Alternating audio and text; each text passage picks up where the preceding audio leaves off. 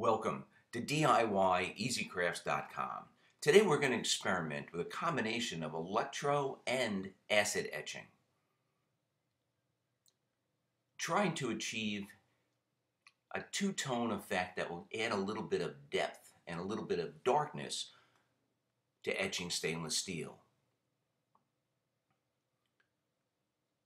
Before we go into this project, if you are a new knife maker, I've got a free offer at the end of this video that you might be interested in. Now, over the years, I've done a lot of etching. Most of it is has been electro etching. Electro etching is, or can be, deep, so the, the etched area itself has a little bit of relief to it. I've also done a little bit of acid etching, which is a different animal completely. It's a more of a forced patina, more of a subtle effect. You can get two tones out of it, it's really just changing uh, the color or the surface color of the material. So with any type of etching, you have to use a resist. Uh, I'm using a self-adhesive vinyl, which I cut out on a vinyl cutting machine. And what I'm going to do is I'm going to lay an object over another object and try to create some depth. When I do this, I have to then cut a space in between the two objects so that the the object in the foreground, when, it, when the background gets etched, is well defined. I'm then going to block off the bottom uh, bevel or bottom edge of the knife, and that's going to act as the seabed. And I'm going to put all the vinyl in place on, on one side of the blade.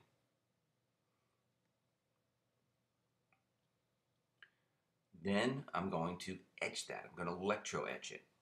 Electro etching is done with, I do it with a, a 12 volt car battery charger, and in this case, a stainless steel electrolyte solution. Once the knife has been etched, I'm then going to dip it into acid. Then I'm going to remove the knife, remove some of the uh, self-adhesive vinyl uh, decals or stickers, and then put the knife back into uh, the acid. And hopefully that will create kind of a depth to the etching, add a little character to the background objects. But bear with me, this is just, this entire knife is really just, uh, just an experiment. So here we go. Uh, all of the vinyl is in place. Uh, what I've got in my hand is a piece of angle iron. It's got a hole drilled in one side that I attach uh, the negative lead from my car battery charger.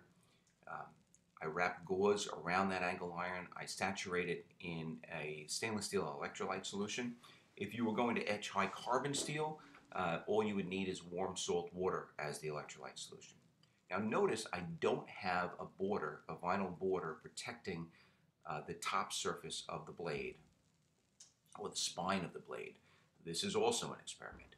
What I'm trying to do here is, is not have that gauze be very uh, damp so that no drips um, drip down over that spine or create, you know, etching on that spine. I'm just being really careful. I'm going to etch the entire surface of the blade for probably a minute and a half, but I do it in about 10 second intervals so that I don't build up a lot of heat. I'm always scared that the vinyl uh, will lose its adhesion if it gets too hot. Once one side is done, I'm going to flip the knife over and I'm going to apply my self-adhesive decals to the other side and I'm going to repeat that process. I have to do all of the electro etching first because then the whole blade is going to get dipped into the acid. So again, just with a damp gauze wrapped around my, my little piece of angle iron, I've got the positive lead from the 12 volt 2 amp battery charger clipped to the blade and the, um, the negative clipped to my angle iron. And I'm going to etch every single area 10 seconds at a time uh, for a total time in each area of about a minute and a half. And that's going to give it a nice deep etching. Not, not too deep, but, but deep enough to, to stand out. These chef's knives are not super thick. You, you, you can't do a, a drastically deep etch on them. Then I'm going to dip this in ferric chloride. Uh, my container is just a two inch uh, piece of PVC with a cap. I've got it mounted onto a piece of, um, plastic board and then it sits in a bucket. I let it sit in there for 20 to 30 minutes. And then when I take it out, I'm going to clean off or neutralize the acid with a mixture of warm water and baking soda.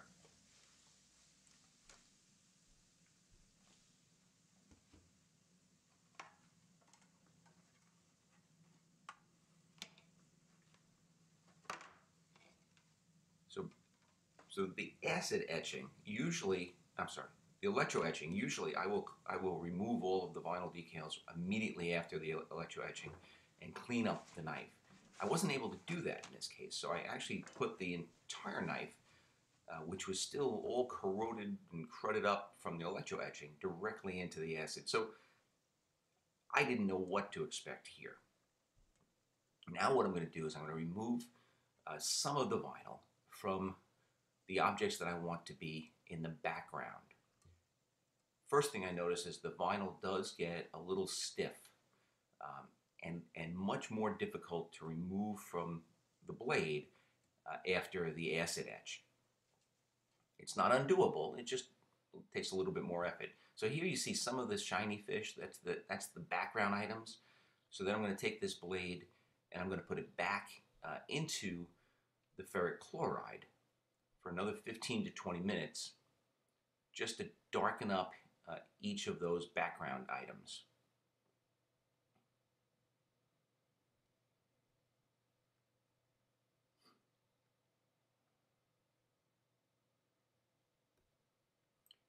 Then I take the knife out. Again, I'm going to remove the remaining vinyl, including the vinyl that covered uh, the actual uh, micro bevel. And at this point, I realized that I really don't want uh, that, that sandy area at the bottom or the bevel area at the bottom to be shiny. And I don't want the remaining fish to be shiny.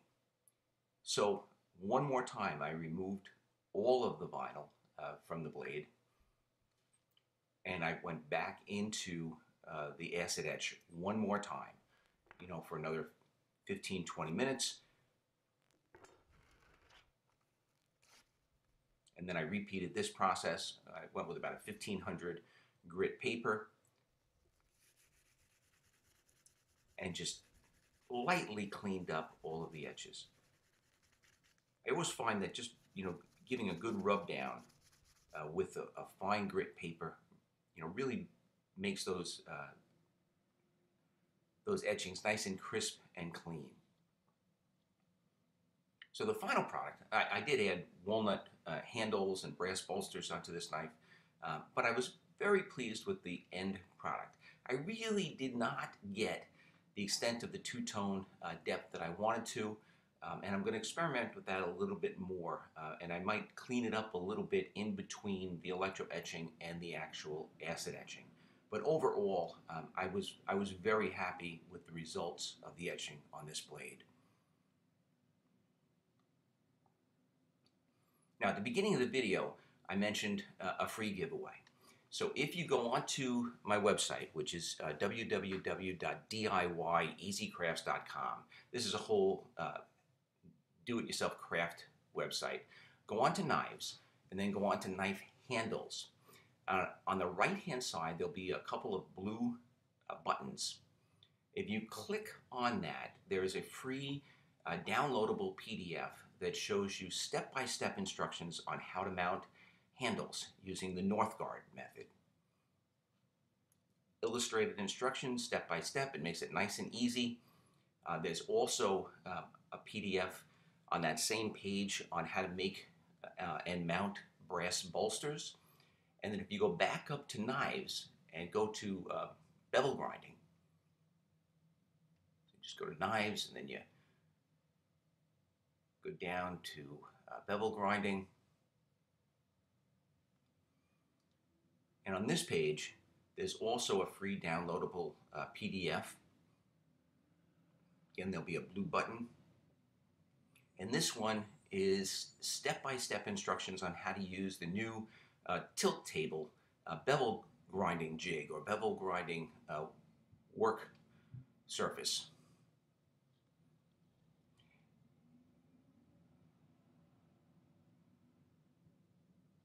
Anyway, I hope you enjoyed uh, this video. If you did, I ask that you please give it a thumbs up and subscribe to this YouTube channel. By all means, check us out on the web at DIYEasyCrafts.com. Check out all of our other how-to knife making videos. And please join Jason Northgard and I on our Facebook group, Knives and Knife Making. Thank you very much.